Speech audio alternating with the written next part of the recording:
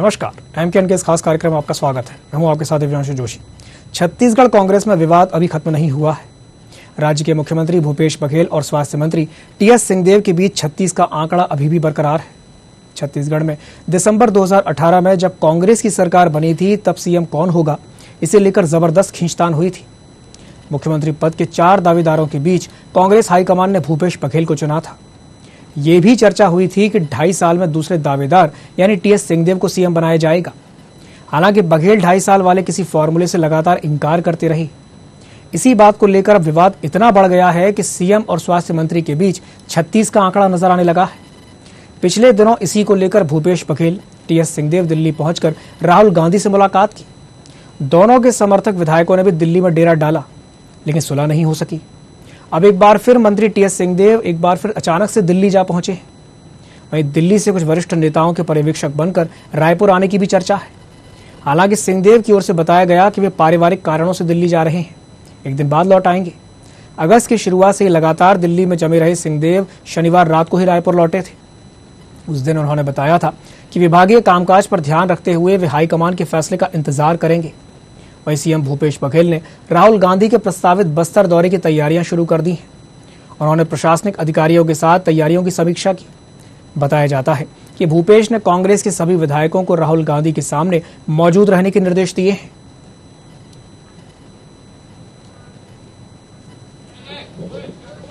छत्तीसगढ़ दो तिहाई बहुमत के बावजूद भी अनिर्णय की स्थिति में है, क्योंकि छत्तीसगढ़ में दिल्ली से बुलावा आता है कि सरकार बदलने वाली है, मुख्यमंत्री चले जाते हैं, स्वास्थ्य मंत्री चले जाते हैं।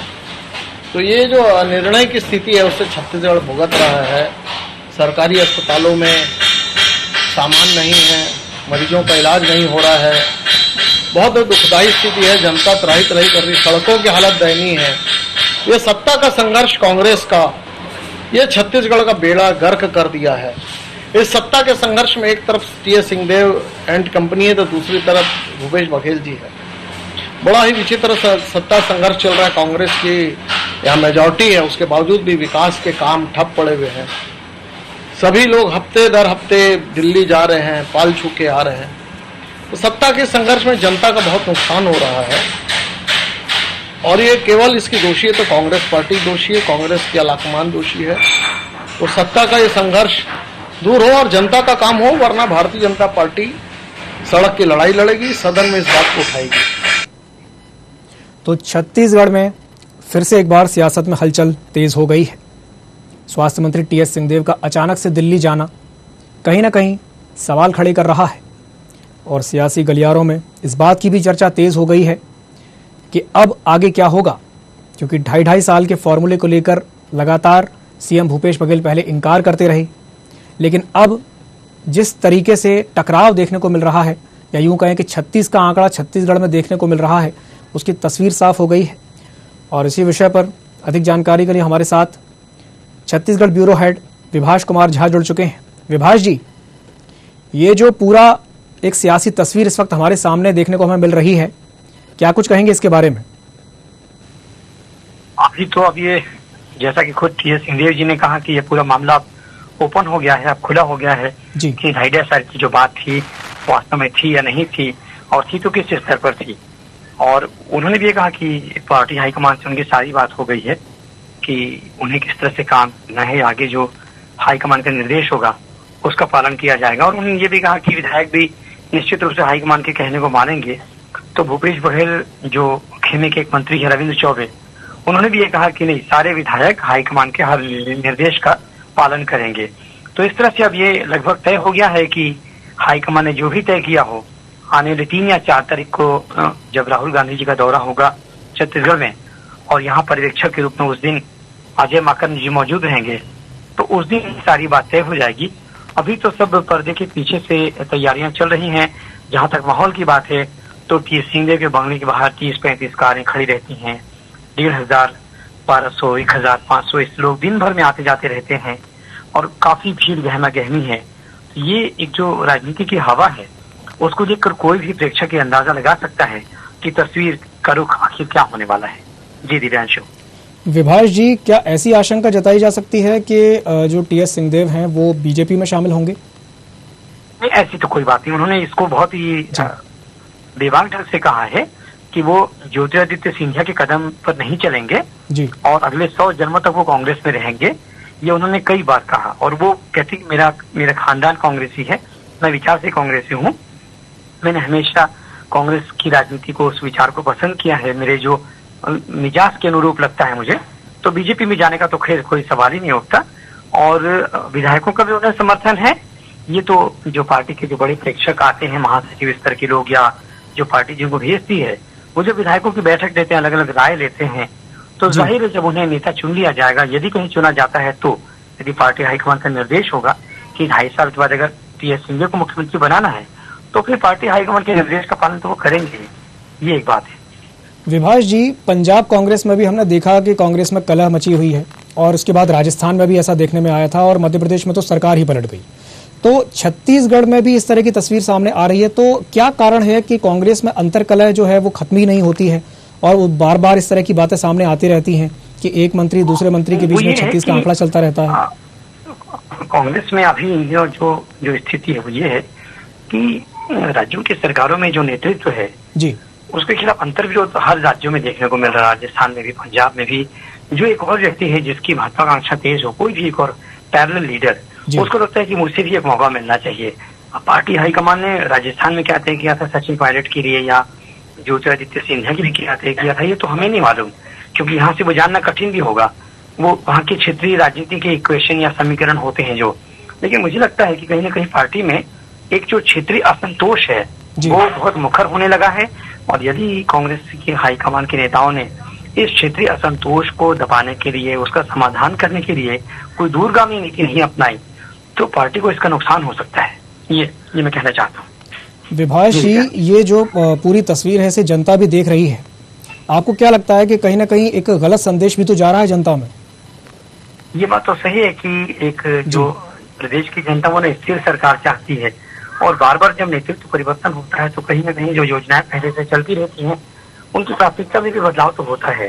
तो जनता को ये ना लगे कि हमने कांग्रेस को चुना था तो इस दिन के लिए नहीं चुना था कि उनमें पार्टी में अंतर कलह हो जाए और जो किसानों की आदिवासियों की ग्रामीणों की जो हित की योजनाएँ हैं फिर वो कहीं अचानक उनकी प्राथमिकता बदल जाए और कोई वो और योजना को ज़्यादा बजट देकर उसको प्राथमिकता से लागू करने लगे तो फिर ये जो ये जो निष्ठी पंक्ति के लोग हैं समाज में इनका क्या होगा? तो लोकतंत्र में जनता सर्वोपरि है। जी। कोई भी आदमी जो सत्ता में है उसको इस बात का ध्यान रखना होगा कोई जनता को नाराज़ करके तो कुछ नहीं कर सकते। जी दिव्यांश विभाष जी, जो आगामी दौरा है राहुल गांधी का, उसको लेकर के किस तरह की तैयारियाँ की गई हैं रायपुर में? अब ये ये कहा जा रहा है कि वो मतलब प्रदेश के अलग अलग संभागों में जाएँगे, वहाँ विधायकों से राय लेंगे वो। तो वहाँ लोगों की जो अपेक्षाएँ हैं वो पार्टी से क्या चाहते हैं, सरकार से क्या चाहते हैं, ये अच्छा तरीका है डेमोक्रेटिक तरीका है, लोकतांत्रिक तरीका है कि राहुल गांधी इस तरह का काम कर रहे हैं। अगर वो पार्टी के बड़े नेता हैं, पहले अध्यक्ष रह चुके हैं, और अगर उन्हें भविष्य में एक राष्ट्रीय नेतृत्व के रूप में उभरना है तो उन्हें जनता से तो संवाद लोकतंत्र में करना चाहिए। अगर वो कर रहे हैं तो ये बहुत अच्छी बात है। और जनता से राय लेंगे तो वो ये समझेंगे कि जो अगली सरकार अगर कोई बनती है चाहे वो भूपेश बघेल के नेतृत्व में हो या टी एस सिंहदेव के नेतृत्व में हो उसे कांग्रेस के जो जन कार्यक्रम है जो कांग्रेस का जो जन घोषणा पत्र है उसके अनुसार ही काम करना होगा। तो ये तो राहुल गांधी भी तय करेंगे कि भले नेतृत्व परिवर्तन हो गया चेहरा बदल जाए यदि बदलता है तो। लेकिन कांग्रेस की रीति नीति में कोई फ़र्क फ़र्क नहीं आएगा। ये वो जनता को विश्वास दिलाना चाहते हैं। शायद इसलिए वो दौरा कर रहे हैं सब राज्यों के संभागों में जाएँगे और वहाँ लोगों से बातचीत करेंगे। जी रिजांश। विभाष जी इसी बीच में ये बात भी सामने आई है कि सीएम भूपेश बघेल ने अपने सभी विधायकों को ये कहा है कि जिस दिन राहुल गांधी आएँगे सभी वहाँ पर उपस्थित रहें मौजूद रहें। तो इसे लेकर के किस तरह की वहाँ पर तैयारियाँ की गई हैं रायपुर में? हाँ अभी ना अभी दो बार ऐसा हुआ कि विधायकों की बैठक भी हुई। जी। कुछ मंत्रियों को भी इस काम में लगाया गया कि अब जब राहुल गांधी आएँगे तो उनके सामने किसी भी तरह का कोई कोई ऐसा जो शक्ति प्रदर्शन या कोई अपनी राय अलग से व्यक्त करने वाला काम ये नहीं होना चाहिए। वो अगर होगा तो राहुल गांधी एक प्रॉपर चैनल के तरीके से जो बीच में जो प्रदेश कांग्रेस अध्यक्ष होंगे उनके माध्यम से या जो पार्टी के प्रभारी है पूनिया जी या राष्ट्रीय सचिव जो छत्तीसगढ़ का कामकाज देखते हैं, उनके माध्यम से विधायक मंत्री अपनी बात राहुल गांधी तक पहुंचाएँगे। ये ज़रूर हो सकता है, लेकिन सीधे जाकर के राहुल गांधी से मिलकर अगर किसी को कुछ कहना हो तो मैं समझता हूँ कि ये बहुत शोभनीय बात नहीं होगी। और इसी को स्ट्रीम लाइन करने के लिए अभी जो पर्यवेक्षक स्तर के जो नेता आ रहे हैं, जैसे अजय माकन जी आएँगे दो तारीख को तो वो यही सब तय करेंगे कि राहुल गांधी के सामने अगर कोई बात रखनी भी है तो किस शालीनता के साथ, एक मर्यादा के साथ रखी जाए। ये इस बात की तैयारी हो रही है। जी। विभाष जी बहुत बहुत धन्यवाद हमारे साथ जुड़ने के लिए। तो आज हम जिस विषय पर चर्चा कर रहे हैं, टी एस सिंहदेव स्वास्थ्य मंत्री टी एस सिंहदेव का अचानक से दिल्ली जाना और फिर इस तरह की बात सामने आना, पहले तो ढाई ढाई साल के फॉर्मूले को लेकर के बात हो रही थी, जिससे सीएम भूपेश बघेल इनकार करते रहे कि नहीं, ऐसी कोई बात नहीं है। लेकिन अब ऐसा सुनने में आ रहा है कि कांग्रेस सांसद राहुल गांधी खुद रायपुर आने वाले हैं और विधायकों को ये कहा गया है विधायकों को ये कहा गया है कि उस दिन वे सभी उपस्थित रहें। और इसी विषय पर अधिक चर्चा के लिए हमारे साथ एक और खास मेहमान वरिष्ठ पत्रकार नागेंद्र वर्मा जी जुड़ चुके हैं। नागेंद्र जी बहुत बहुत स्वागत है आपका एम में। नमस्कार। नमस्कार नागेंद्र जी। नागेंद्र जी ये जो पूरी सियासी तस्वीर इस वक्त सामने आ रही है जिस तरह से बातें हो रही हैं पहले ढाई ढाई साल के फार्मूले की बात हुई फिर सीएम भूपेश बघेल ने कहा कि नहीं ऐसी कोई बात नहीं है और फिर अचानक से स्वास्थ्य मंत्री टी एस सिंहदेव का दिल्ली जाना। तो आप इसे किस तरीके से देखते हैं इस पूरी सियासी तस्वीर को आप इसे कैसे देखते हैं?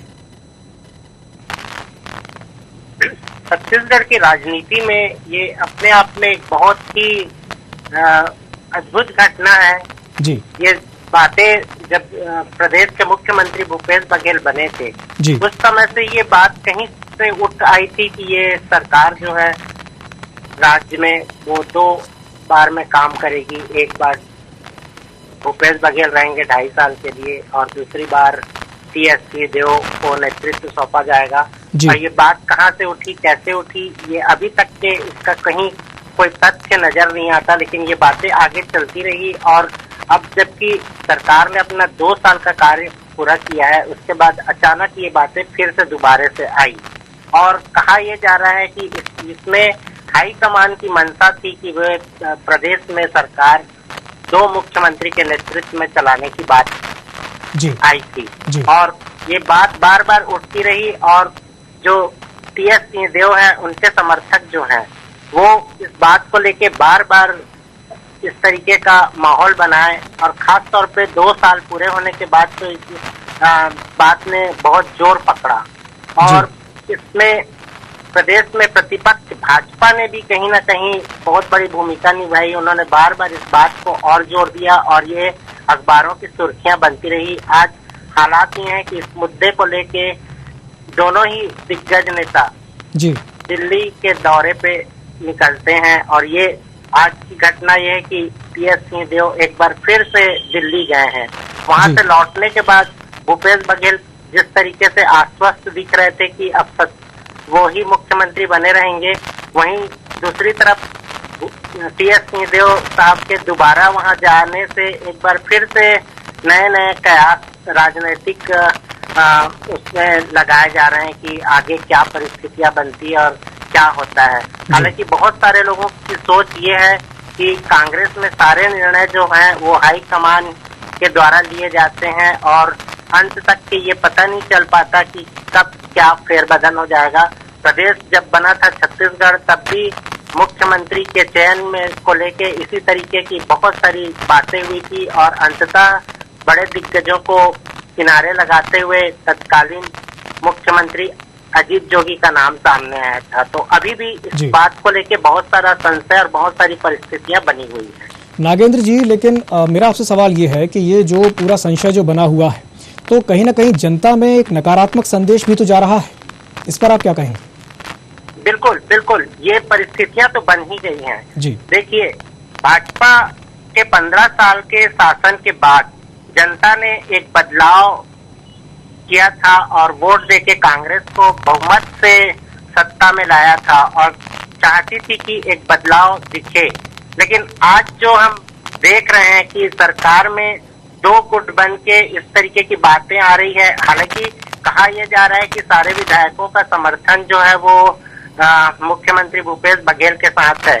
लेकिन दूसरी तरह से राजनीतिक जानकारों का ये भी कहना है कि हाईकमान की मंशा जिसे भी मुख्यमंत्री बनाने को होती है तो पार्टी के सारे विधायक जो हैं वो अपने आप उसके प्रति पूरी ज़िम्मेदारी से काम करते हैं और समर्थन देते हैं और हाईकमान की बातों का उनके निर्णय का पूरा समर्थन किया जाता है। जी। लेकिन ये परिस्थितियाँ जो बन रही हैं वो एक बार फिर से जनता में जा रहा है कि पार्टी सही ढंग से काम नहीं कर पा रही जो उनकी अपेक्षाएँ थी। नागेंद्र जी पहले ये बिल्कुल ऐसी ही तस्वीर पंजाब में देखने को मिली उससे पहले राजस्थान में भी ऐसा हुआ था और मध्य प्रदेश में तो सरकार ही गिर गई थी। और अब छत्तीसगढ़ में ये हो रहा है। तो क्या कारण है कि बार बार कांग्रेस के अलग अलग राज्यों से इस तरह की खबरें आती हैं जो एक अंतर कलह है वो कभी खत्म ही नहीं होती है? आपको क्या लगता है कि क्यों ये अंतर कलह कांग्रेस के बीच में है और क्यों ये खत्म नहीं होती है? आ, मुझे लगता है मैंने अपने जो अनुभव से देखा। कांग्रेस के जो दिग्गज नेता थे जो। शुरू में सारी योजनाओं को बनाते थे और पार्टी के हित में काम किया करते थे। उनका मार्गदर्शन अब सही तरीके से मिल नहीं पा रहा है और वरिष्ठ नेताओं की उपेक्षा के बाद जी। हर प्रदेश में इस तरीके की परिस्थितियाँ लगातार बन रही हैं और हर जगह कहीं ना कहीं कांग्रेस को मात हासिल करनी पड़ रही है। कहीं उन्हें राष्ट्रीय स्तर की पार्टियों से मात मिल रही है तो कहीं क्षेत्रीय पार्टियाँ भी कांग्रेस को किनारे लगा रही हैं। तो इस बात पे पार्टी को निरंतर मंथन करना चाहिए कि वो इस तरीके की गलतियाँ हो क्यों रही है और क्यों इसका क्या तरीके से बदलाव किया जाए और इस पे मंथन हो कि परिस्थितियाँ अच्छी बने। जी नागेंद्र जी कांग्रेस जो है ये देश की सबसे पुरानी पार्टी है। तो क्या ये कहा जाए कि कांग्रेस भटक गई है? मुझे लगता है कि ये आपकी बात कुछ हद तक सही है। पार्टी के जो सिद्धांत थे उस पर काफ़ी कुछ बदलाव आया है और जनता की अपेक्षा जो है एक पुरानी पार्टी से जिसने देश की आज़ादी की लड़ाई में एक महत्वपूर्ण भूमिका निभाई थी वो किस तरीके से जनहित के काम कर रही है वो देखना चाहती है और उसके साथ बदलाव भी चाहती है। तो बहुत सारी चीज़ें ऐसे हो रही है जो जनता पचा नहीं पा रही है और इसलिए जनता हमेशा कांग्रेस के प्रति एक नकारात्मक भाव रखती चली जा रही है। ऊपर से दिक्कत ये आ रही है कि जहाँ कांग्रेस को मौका दिया जाता है, वहाँ कांग्रेस अपने अंदरूनी कला के कारण एक बार फिर से किनारे लगने का उनका काम हो जाता है। नागेंद्र जी अंतरकलह की जब बात चली है तो अंतरकलह की बात कांग्रेस में ही सामने आती है। बीजेपी में अक्सर ऐसा होता नहीं है कि बीजेपी में अंतरकलह की बात सामने आए। तो आपको क्या लगता है कि वो कौन सी चीज़ है जो इन दोनों पार्टियों को अलग करती है? कि कांग्रेस में अंतरकलह दिखती है, लेकिन बीजेपी में नहीं दिखती? ये एक तरीके से कहिएगा तो भाजपा में इसको एक कुशल प्रबंधन कहा जा सकता है। उसमें जो नेता दिल्ली से जो बोलते हैं, वो आखिरी सिरे तक आखिरी इकाई तक भाजपा के आखिरी कार्यकर्ता तक एक ही भाषा एक ही सुर एक ही वाणी पे बात होती है। वहीं। कांग्रेस का हर नेता अपने आप को बड़ा जिम्मेदार समझता है और अपने स्तर पे वो बयान देता है। तो कहीं ना कहीं ये नेतृत्व में अ, कोई चीज़ पे मंथन होना चाहिए कि ऐसा क्यों हो रहा है और ये अनुशासन क्यों नहीं बना रह पा रहा है पार्टी में।